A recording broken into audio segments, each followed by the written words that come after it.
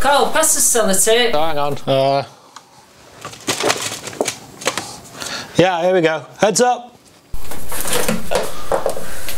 Oh, you nutter!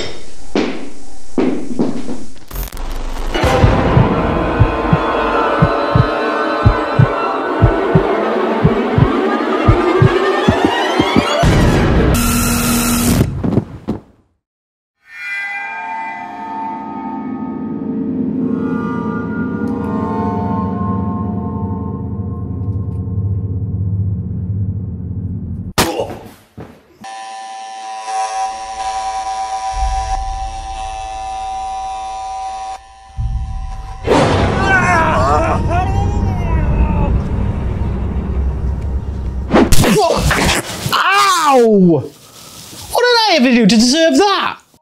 Oh, he knew what I'd done all right. All these weeks working together on set, playing dumb. He knew he had me just where he wanted me. It was only a matter of time. I needed a plan of action. I decided to take a walk. They say any man can find himself if he just walks long enough. That's just as well. Because these days, we all have to be content with our own company. The streets of the city were deserted. The virus had seen to that. Most folks had abandoned it to avoid the contagion. But this place will always be my mistress. Once these streets were a bustling metropolis, now all the remains of boarded up windows and empty shells. Empty and black like my heart. All because of the way he made me feel just now, with the punch from nowhere.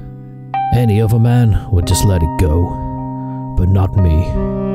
I had to retaliate, but I knew it had to be epic.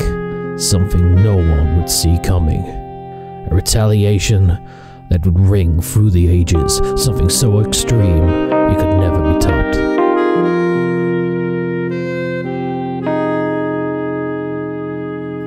But I had to compose myself first.